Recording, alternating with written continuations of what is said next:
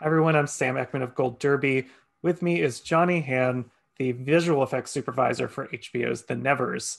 And Johnny, this show, uh, you know, it's about these people who have turns, these sort of superpowers, and one of the most unique ones that you get to to find a way to visualize is, I think, with Mary's, uh, who has a song that sort of um, links herself and empathically links herself to all these uh, people with who have been touched as the show mm-hmm. says. And i'm curious it's such a unique a lot of the powers are unique but that one in particular how did you sort of think about and find a way to visualize that power? Right. Well that's a great question. One of the nice things about it was that it was already represented by her voice right? And that's something that the audience could hear. And and the way we are we were doing it was um, as much as everyone in the sh- in the show could hear it, um, we weren't actually saying the other characters could see this light. It was really for the audience to be able to see it, for the viewers. Um, like a like we opened a little window for the viewers at home to kind of see um, something that not even the other characters could see, although they could hear it. And so um, uh, we want to make it something that uh, you could believe was we, we had this idea that everyone was actually all interconnected. You know, there's lots of ideas how um, there's almost uh, this web of energy between all different things and all living things. And all we were doing with Mary's Light was revealing those connections between people, almost like um, almost like a laser through through fog, right? Like a laser beam you don't actually see until there's something for a medium for it to be revealed. So um, we, we looked at it that way, that there are these already these connections to all living things, but we are simply highlighting the, the ones between Mary and the other touched, uh, touched uh, people. Um, and we had this idea that her coming out of her would be almost, it would almost be like a handshake. It would, it would be seeking out others and very much almost in these tendrils that were almost like fingers reaching out. And then if you look closely, you'll notice on the on the on the recipients, it was almost as if to to wake awaken their energy and their their um, uh, their essence, and for that to almost reach out to meet Mary's handshake and and literally to do this. Mm. Um, so if you look closely, you can actually see the threads kind of combining. We we talked about it being like a two way highway or two-way motorway where energy was passing both ways. Because it wasn't just mary you know going out and touching everyone. It was about the touched answering the call. Yeah. and so as much as mary's light hit them their light would answer back. Yeah. Uh, what really struck me about the show is that all of these powers um, even something as otherworldly as mary's seems to have like a, a very kind of naturalistic vibe to them or look to them um, versus like a, a big uh, like superhero movie or something where everything is glowing and flashing. So was there an overall uh, approach to showcasing those powers? Yes, and this was from the very beginning of the development of the show, like months before. You know, we wanted to figure out what is the look of the show going to be, and not just the visual effects, but the actual show. The, the, what, what's the texture of it? And um, you know, we're visual effects one department out of many. And as we were getting, you know, costumes made and sets made and things designed, you know, kind of informed, well, the visual effects have to support that, right? We can't stick out, like, a, you know, we can't be the odd one out. Um, we're not there to stand out, you know, we're there to, to support the show. And so one, one thing I kept saying to everyone was the effects need the effects should feel amazing for the other 19th century people in the world. Like, what does a Londoner in 1896, what does that person see as amazing and spectacular, right? We're so used to seeing, you know, everything you've ever imagined, right? In every big superhero film. And yes, everything's, it's always like bigger, bigger, bigger, more, more, more, you know, glowier and more more particles and more energy. And that's impressive to us because we're so acclimated and, you know, we live in this age of the internet and we've all seen amazing things, but we're thinking, well, what, what's enough to impress someone in 1896? It actually doesn't take much. So there's, there's, there's, we're trying to honor this subtlety that, um, you know, we don't want to make something that's so spectacular that they would um, freak out and, you know, it, it would have to be magical and wondrous to someone of that period. So our effects would have to feel period, if that makes sense. Um, so we we did a lot, and a lot of it was tempering it down. Was was, you know, what is the the, the minimum amount, which is not the easiest. Uh, like minimum doesn't mean it's the easier route. It's actually quite tricky because we're dealing with, you know, we we we went through so many rounds of of iterations of things where we were just like, oh, just make it two percent less bright, five percent less bright, you know, and um, because it all had to be about the characters and and and um, and if you know it's the storytelling is all from their faces and their reactions and we're just there to connect the dots and we're not there to to steal the show. So it's all about subtlety from the beginning was was a big creed of the visual effects of the show and i have to make sure i ask you about uh, one of my favorite moments of, of this whole season i think is this battle between Amalia and Odium on the lake in uh, the episode Ignition. It's one of the most unique fight scenes I think I've I've ever seen in in anything. Um, as he's trapping her because he walks on water, he can't go beneath the water and is trapped her underneath. Uh, what went into sort of like capturing those water effects? It's a very specific uh, effect. I don't know that I've seen before. Yes. Um, you know, from the very beginning, we knew we had this scene as going to be this battle Molly underwater, someone above water. And, um, you know, the whole idea of walking on water has been around forever. And in Superman 2, the Richard Donner film, General Zod lands on the lake in Houston, Houston. Um, and, uh, uh, you know, I remember as a kid seeing that, I was like, oh, so cool. You watch it now, though, I mean, I mean, it was great, but very clearly there's a platform hidden underwater and that's sort of the classic way to do it.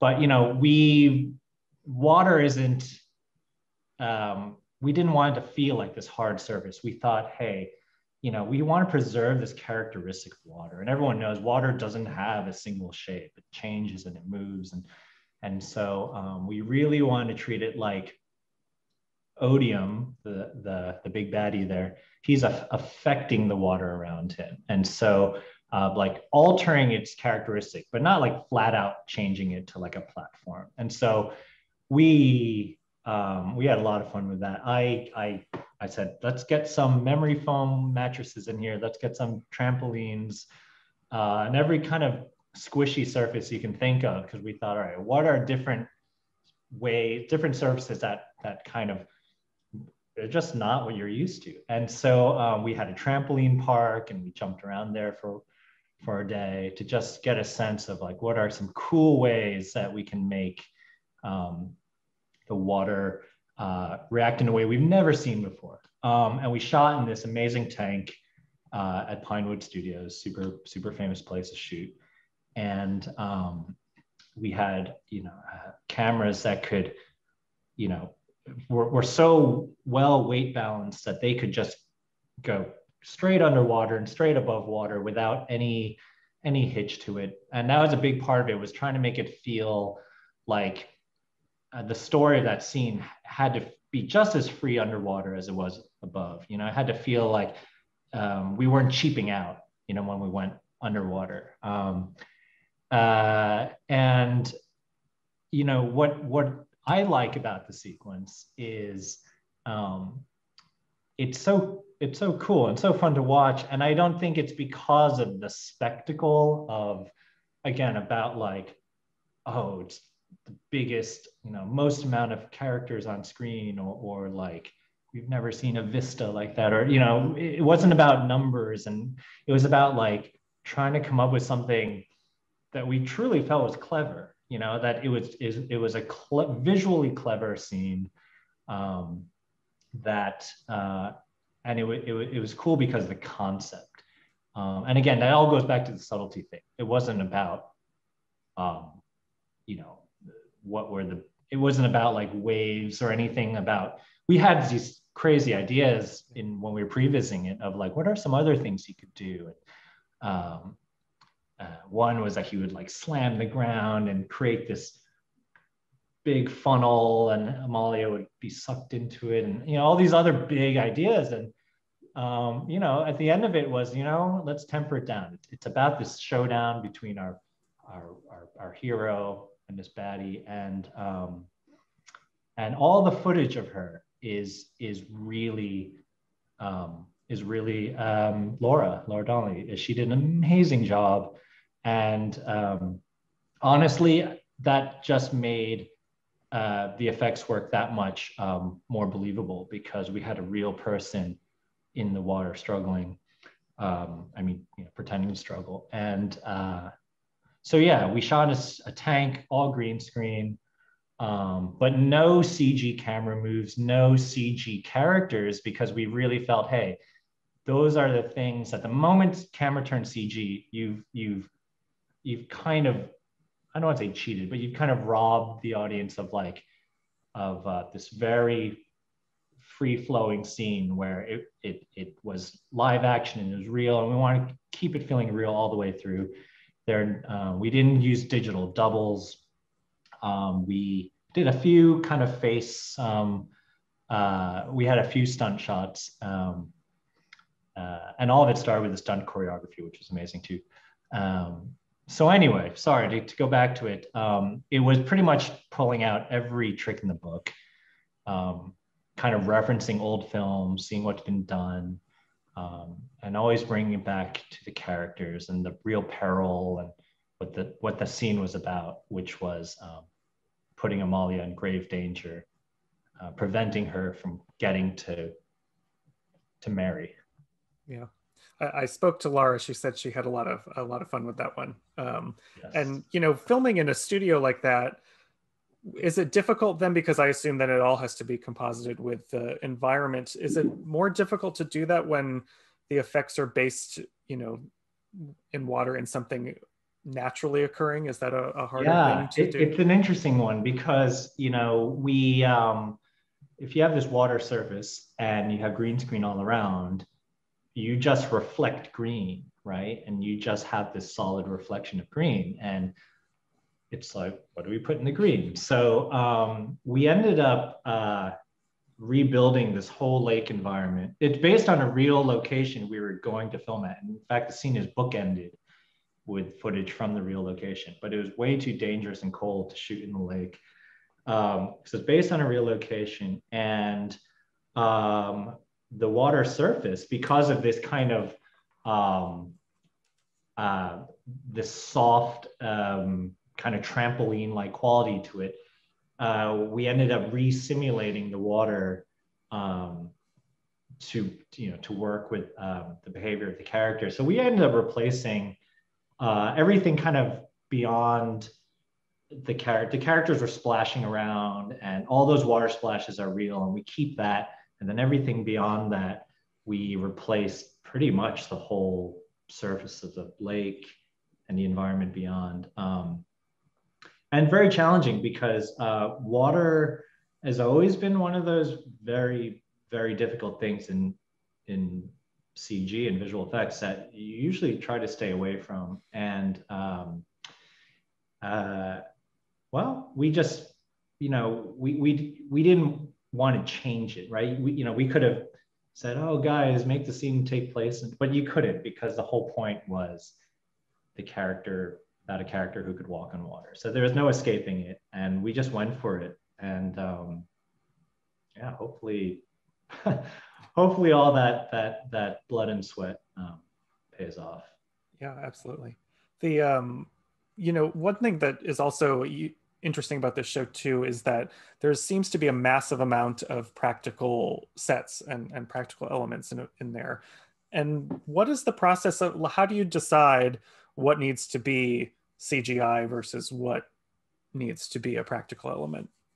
Um, well, what's what's um, what's great about it is so collaborative, right? We every every everything starts with a meeting, and you've got um, our our special effects uh, supervisor. Um, we've got our, our stunt coordinators, and uh, it's like, all right, who wants to do what, right? And in a good meeting, it's about everyone raising their hand and saying, oh, well, we can do it this way, we can do this, and you know, then you have too many solutions, and it's just about picking one. the worst is when like nobody raises their hand, and it's like, okay, nobody, nobody wants to take that that one. Um, but it usually comes some kind of combo, you know, and uh, you know, for that shoot, I remember that meeting actually with exactly those people I mentioned. And it was like, well, we can build some platforms. And then we thought, well, we don't want it to feel like they're on platforms, but we could at least get the actors to, um, uh, we could put them on platforms, but then we could replace the water with CG. So at least the people are real, but the water could be CG. And then, okay, so that's a middle ground. And then um, some of this uh, and then the stunts. It was like, well, then how does um, how does Amalia actually, um, you know, pull the guy down? And then we say, okay, well, um, the chain can be real, but the hook can't because the hook was too, um, maybe it was too dangerous, or maybe it couldn't sink or something. And and then that's when we say, all right, well, let's do the hook in CG, but the chain be real. So that way you know you keep the audience you don't ever want the audience to um, uh, you always want to mix it up so they they can't quite pick it apart and say oh that whole chain is cg um, and uh, yeah and every and i think the bigger thing to stress is that there's no one solution every shot we have those meetings sometimes about every shot where it's different from shot to shot where it's like okay this one the water be real but the um, or next shot it'll be CG. And it all depends honestly on the formula, the recipe for that shot. You know, it could be as subtle as like, well, the camera is that much um, higher, which may mean, oh, all of a sudden now we see a lot more of that water surface. So in that case, the water becomes CG. The camera is just two feet lower you're seeing much less of that water, then oh, we could get away with keeping it real. Um, so it's um, uh, it's quite a collaboration, and there's no um, no and, and and it it always ends up looking the most real when you're mixing it all up. Yeah. Uh, uh, so yeah. Cool.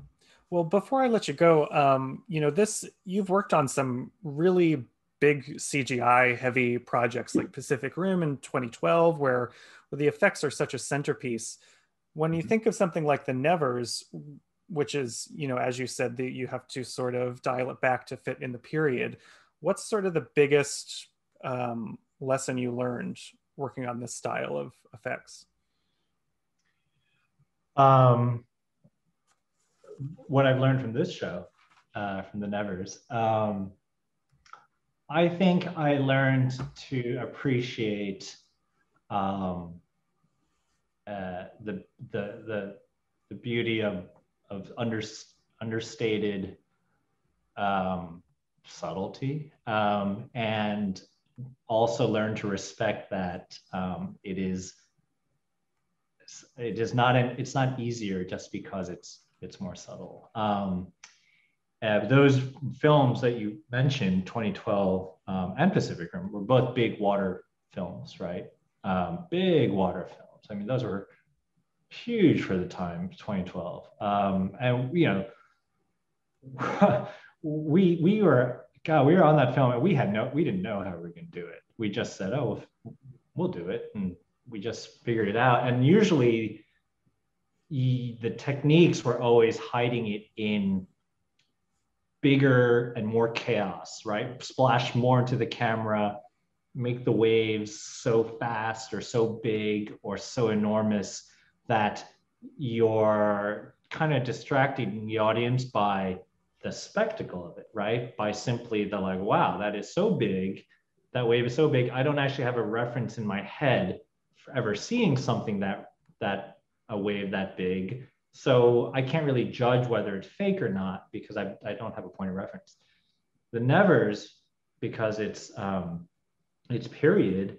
Period is sort of all about referencing what we are familiar with, right? Period is all about kind of um, exploiting a bit of that nostalgia of um, what we've all kind of drilled into our heads from history books and from films and from art history. And uh, so you're kind of, it's sort of the opposite where you are challenged with trying to um, evoke the familiar and evoke what is uh, um, what one perceives as, as tangible.